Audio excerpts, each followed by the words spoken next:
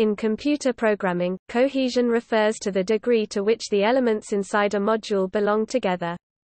In one sense, it is a measure of the strength of relationship between the methods and data of a class and some unifying purpose or concept served by that class.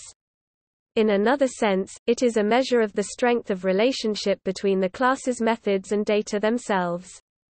Cohesion is an ordinal type of measurement and is usually described as high cohesion or low cohesion.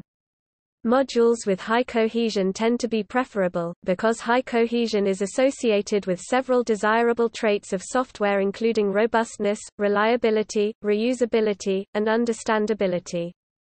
In contrast, low cohesion is associated with undesirable traits such as being difficult to maintain, test, reuse, or even understand. Cohesion is often contrasted with coupling, a different concept. High cohesion often correlates with loose coupling, and vice versa. The software metrics of coupling and cohesion were invented by Larry Constantine in the late 1960s as part of structured design, based on characteristics of good programming practices that reduced maintenance and modification costs. Structured design, cohesion and coupling were published in the article Stevens, Myers and Constantine 1974 and the book Yourdon and Constantine 1979. The latter two subsequently became standard terms in software engineering.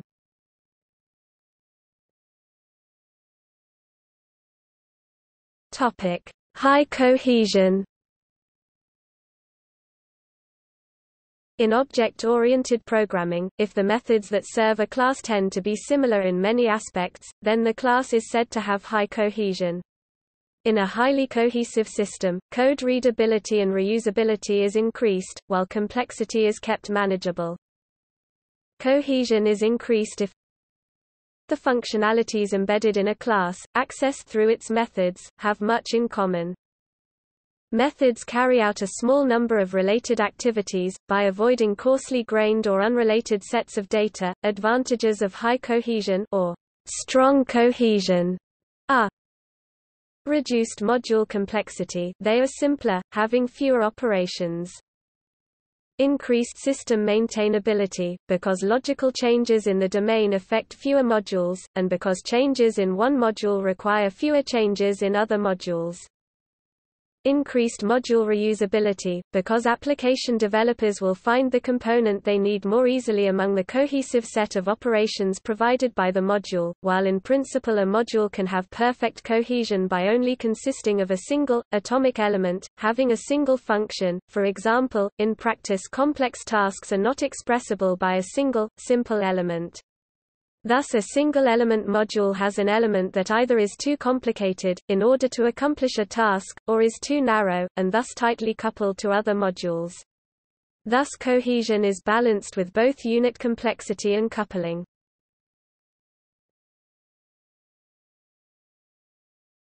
Topic: Types of cohesion Cohesion is a qualitative measure, meaning that the source code to be measured is examined using a rubric to determine a classification. Cohesion types, from the worst to the best, are as follows Coincidental cohesion worst Coincidental cohesion is when parts of a module are grouped arbitrarily, the only relationship between the parts is that they have been grouped together e.g. a utilities class.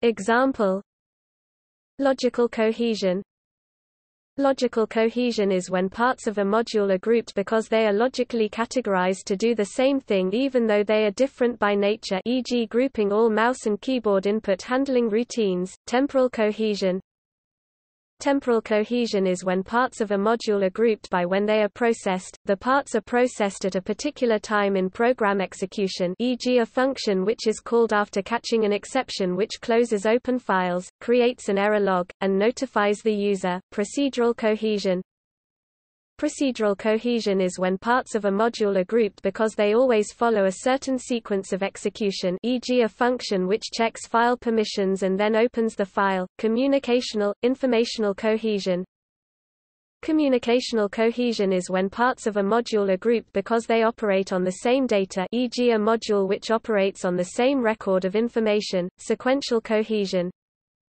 Sequential cohesion is when parts of a module are grouped because the output from one part is the input to another part like an assembly line e.g. a function which reads data from a file and processes the data. Functional cohesion best Functional cohesion is when parts of a module are grouped because they all contribute to a single well-defined task of the module e.g. lexical analysis of an XML string. Example Perfect cohesion atomic Example Although cohesion is a ranking type of scale, the ranks do not indicate a steady progression of improved cohesion. Studies by various people including Larry Constantine, Edward Yourdon, and Steve McConnell indicate that the first two types of cohesion are inferior, communicational and sequential cohesion are very good, and functional cohesion is superior. While functional cohesion is considered the most desirable type of cohesion for a software module, it may not be achievable. There are cases where communicational cohesion is the highest level of cohesion that can be attained under the circumstances.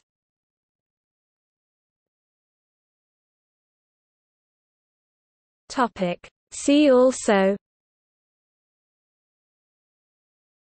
Coupling computer science List of object-oriented programming terms.